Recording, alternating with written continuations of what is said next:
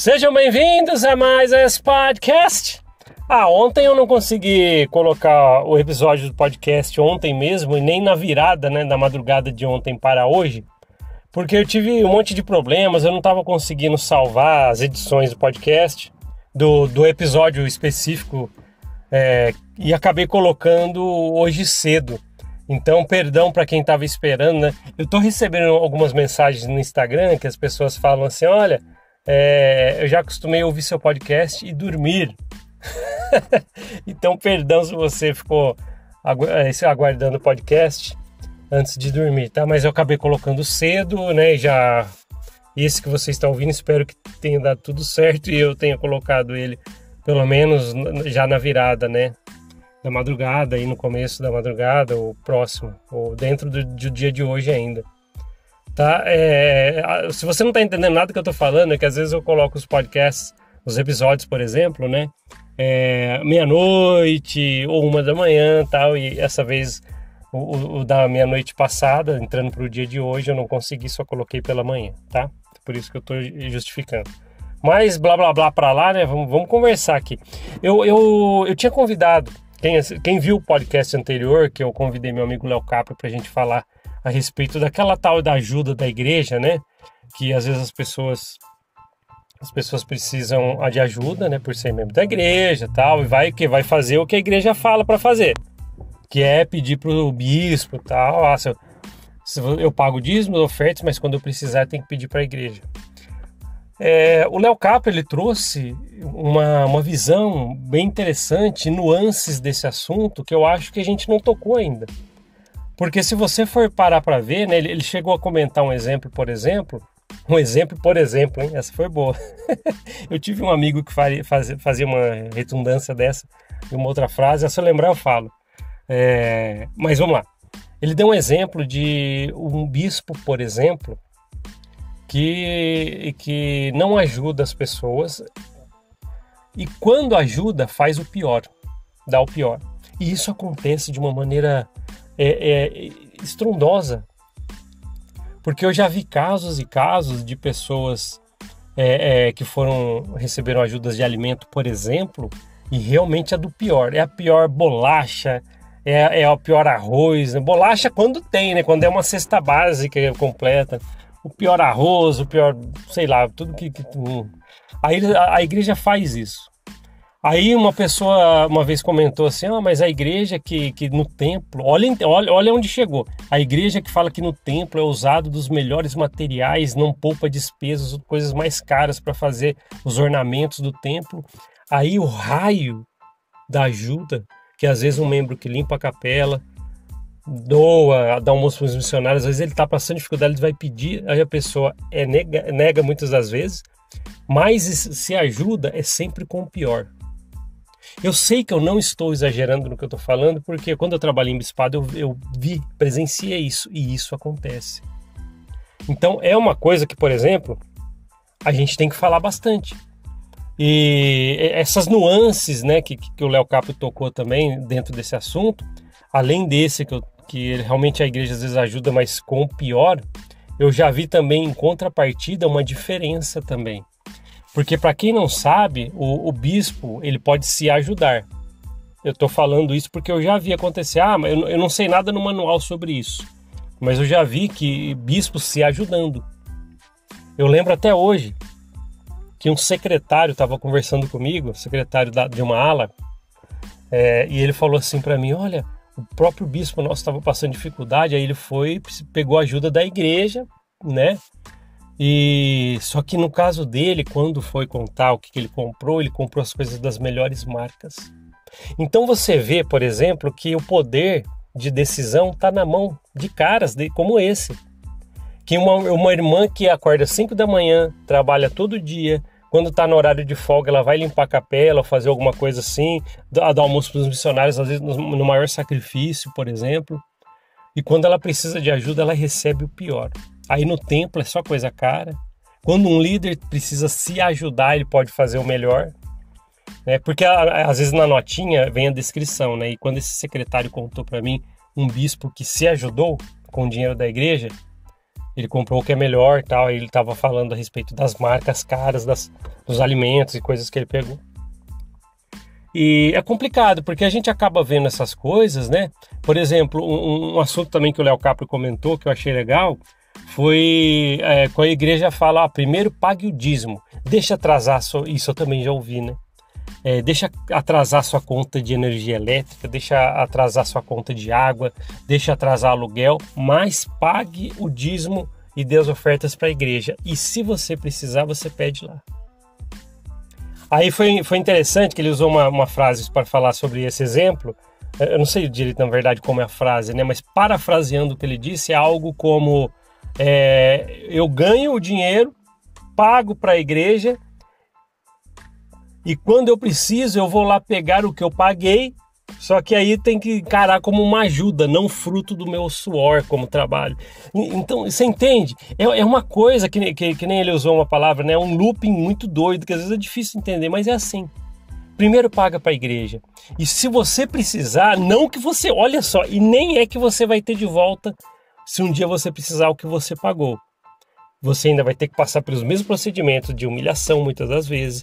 E, e, quem, e quem já recebeu a ajuda da igreja que sabe o que eu estou falando. É que às vezes você vai agradecer por falar assim: ah, a igreja me ajudou, mas você sabe que o processo.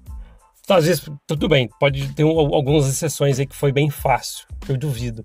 Mas às vezes é, é o processo, ele, ele, é moroso, demorado, dolorido. Dolorido porque às vezes é humilhante. Porque para começar, você vai ter que expor sua vida para alguém. E como a gente já viu que o poder às vezes está nas mãos das pessoas, ah, o bispo decide se ele ajuda, o que ele fala, tal. E às vezes você vai ter que abrir o, o seu problema, vai ter que falar. E quando chegar na hora de você realmente pedir ajuda, ele vai poder falar para você assim, ó, primeiro vamos fazer o seguinte, venda tudo que você pode vender, é, peça para ajuda para familiares que estão próximos, se não der, peça ajuda para familiares que estão longe, Tente pegar qualquer tipo de ajuda que o governo possa te dar e só então você volta aqui. Quando eu vejo líderes e eu vi, né, eu vi, não estava na minha frente, o bispo falando para uma pessoa é, é, todas essas todas, todas essas etapas que ela precisaria fazer para poder receber ajuda da igreja. Aí você fica pensando, caramba, cara. A pessoa realmente, quando eu falo isso, eu não estou brincando, a pessoa é vencida pelo cansaço. Porque você vai lá, já se humilha, aí você tenta, não, primeiro faz isso, isso, isso, isso, isso, só depois que você vem aqui, a pessoa não, nem volta mais. Eu lembro de um caso bem bem próximo, né, de uma pessoa que eu conheci numa unidade, sei lá, 20 anos atrás. E a pessoa estava precisando, e o bispo, ah, não, não faz isso, isso, isso, isso, não vou fazer. Pô, às vezes ela tem um, um carro que ela precisa para trabalhar. Se você não vender ele, o bispo vai falar que você não fez tudo que você precisava para poder ter o dinheiro. Às vezes você tem um parente e ele fica sabendo que você tem um parente, ah, mas parece que você não pediu para aquele parente ainda. Cara, você tem que se humilhar para ele para pedir para um lugar que você já contribui com dízimos e ofertas, mas ele não vai te dar porque primeiro você vai ter que se humilhar para ele e se humilhar de todas as outras formas. Ah, fala até que você precisa primeiro ver se o governo tem qualquer tipo de ajuda para te dar. Senão, você não vai ter. E é dolorido isso, porque às vezes a pessoa. É, a, a, eu, o caso que eu ia falar para vocês é uma, uma, uma, senhora viúva que ela foi pedir ajuda. O bispo falou que primeiro ela tinha que fazer todas essas coisas aí, ou vender alguma coisa, falar com a família.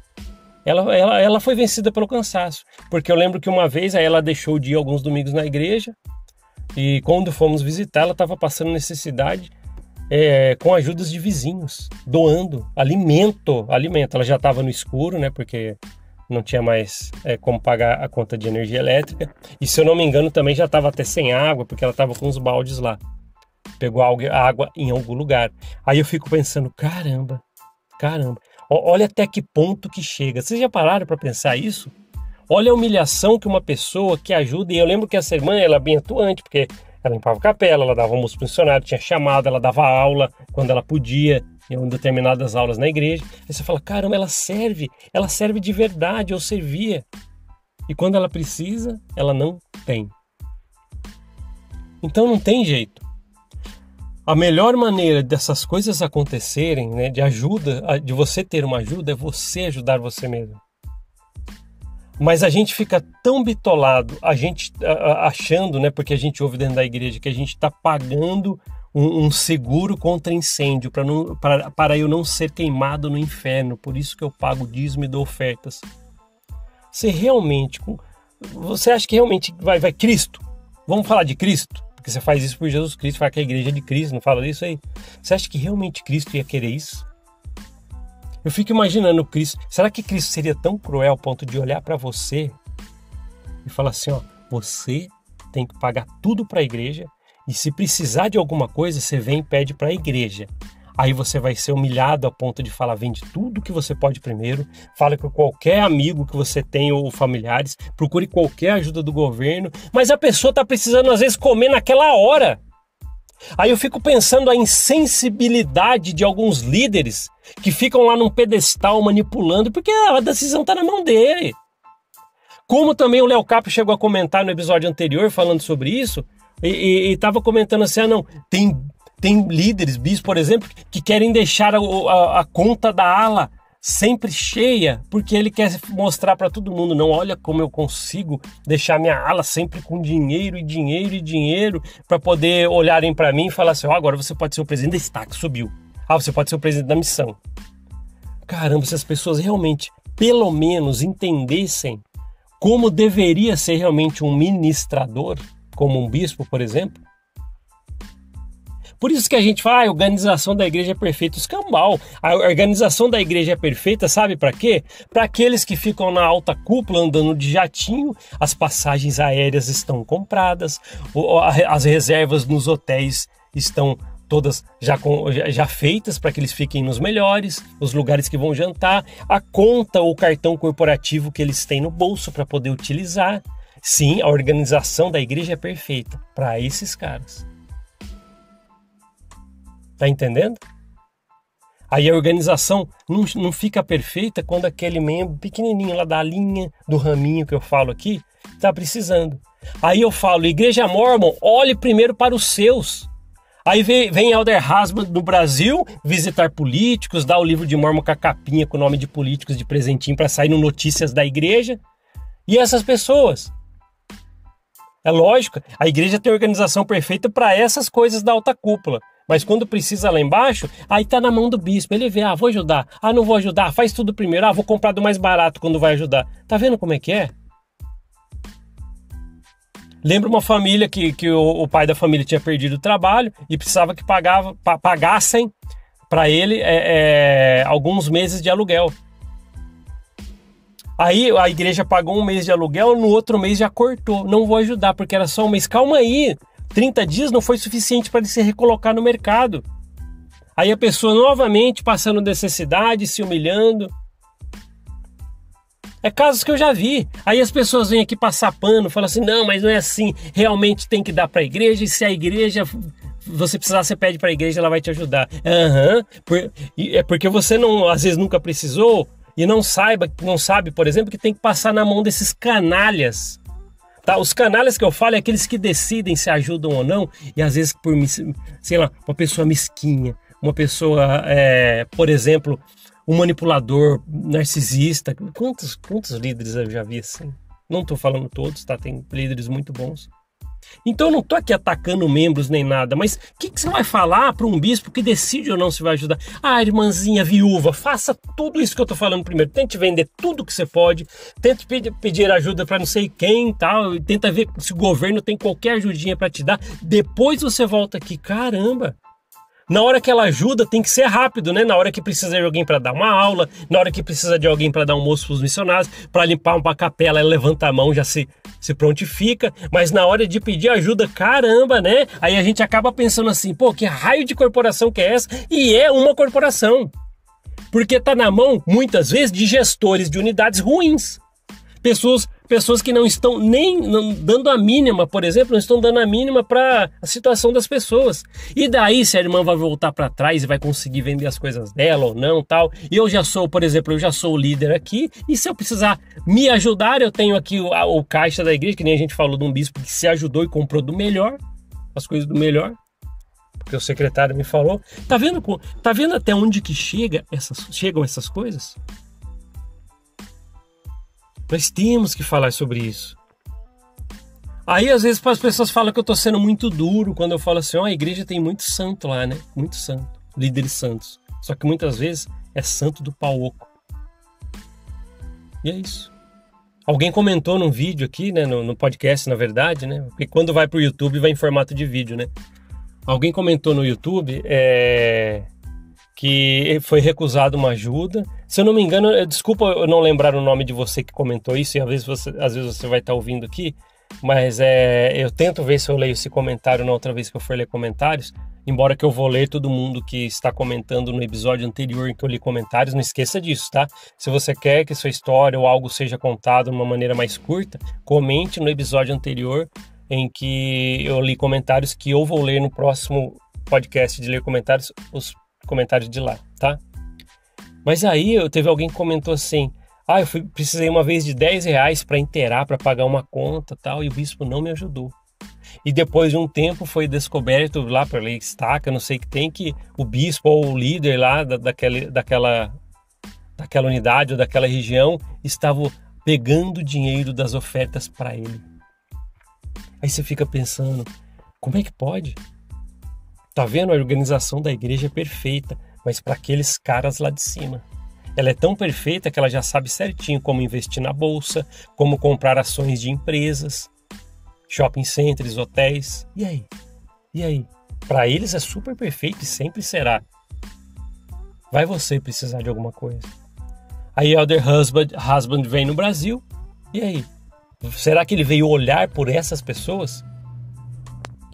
Então, por tudo que eu presenciei, vi, ouvi, estava lá vendo, né, dentro da igreja, eu tenho esse recado que eu queria deixar para a igreja. Ajude pelo menos, Corporação Mormon, os seus os membros que precisem, precisam ou que venham a precisar de ajuda.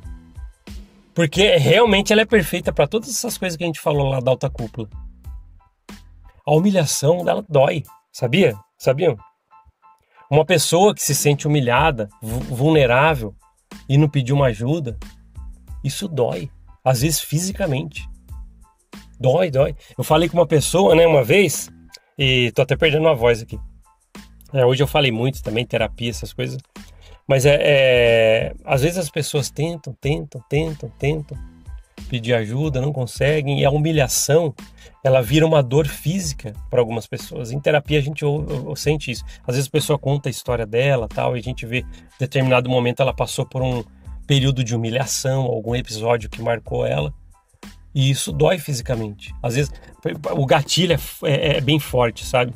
Às vezes a pessoa está numa ocasião ali que acontece alguma coisa e ela remete alguma coisa que ela viu ou que falaram para aquele momento em que ela foi humilhada e causa uma dor, às vezes a dor de cabeça, dor no estômago, então as dores ficam físicas. Elas se tornam dores físicas quando você começa a ter esse tipo de sentimento. Aí você vai ver uma irmã dessa, uma irmãzinha dessa que eu contei aqui na história que ela pediu uma cesta básica, não foi ajudada, aí ela falou: "Bispo, então pelo menos meia cesta básica" e também não foi ajudada. Eu fico imaginando até hoje como que ela saiu daquela sala, tendo esse pedido negado até de meia cesta básica. A humilhação, às vezes pode ter se tornado uma dor física. São pontos delicados e que temos que falar sobre isso. Tá vendo até onde que vai? Se você é um membro da igreja e está ouvindo falar isso aqui, acha que não tem isso, beleza, talvez você nunca precisou. Eu, no meu caso, por exemplo, nunca precisei da igreja para nada falando em valores, nunca precisei de nada. Mas as pessoas que eu vi que realmente acontece, de, de momentos que você precisa, muitos que foram negados, isso é, é dolorido até de ver, quando você fica sabendo, né? É isso. Se você é algum líder que está me assistindo aqui passa por uma situação, você chega a fazer isso, ah, eu decido se eu ajudo ou não, se a pessoa está firmona ou não. Às vezes ela só precisa fazer o que uma igreja de Cristo, né, o que ela pensa que uma igreja de Cristo deve fazer ajudá-la de bom coração. Correto? Ah, então já vou, vou encerrar aqui que minha voz está acabando e, eu falei muito hoje, tá? Mas eu não podia deixar de falar com vocês aqui hoje e tocar nesses assuntos que são tão delicados, porém tão necessários. Muito obrigado por ouvir esse podcast. A gente se vê numa próxima, lógico, né, no próximo podcast. Até mais. Tchau, tchau.